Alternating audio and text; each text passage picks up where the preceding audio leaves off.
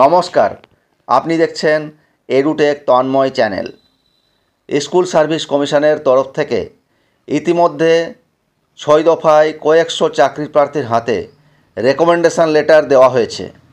সেখানে উল্লেখ করা হয়েছে গ্র্যাড উইথ বিএড এই রেকমেন্ডেশন লেটার নিয়ে চাকরি প্রার্থীরা যখন স্কুলে যাচ্ছেন, সেখানে তাদের পুনরায় তথ্য যাচাই পর্বে দেখা যাচ্ছে।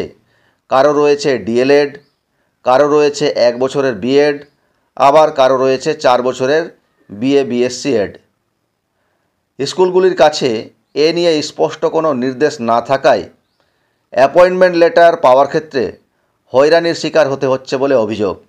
স্কুল পরিচালন সমিতি বা প্রধান শিক্ষকদের বক্তব্য সরকারি নির্দেশে যা থাকবে সেই অনুযায়ী স্কুলগুলি ভেরিফিকেশান করবে।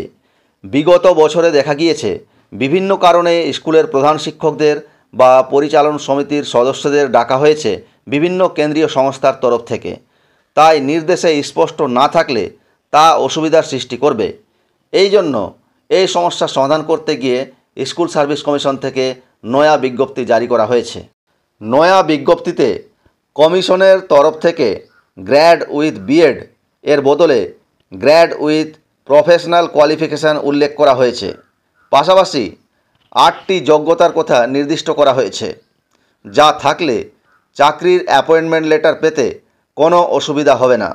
আগামী এগারোই নভেম্বর থেকে সাতাশে নভেম্বর পর্যন্ত আপার প্রাইমারির কাউন্সেলিং চলবে এবং এই সমস্ত শিক্ষকেরা স্কুলগুলি থেকে অ্যাপয়েন্টমেন্ট লেটার পেতে এই নয়া বিজ্ঞপ্তির ফলে আর কোনো হয়রানির শিকার হবেন না।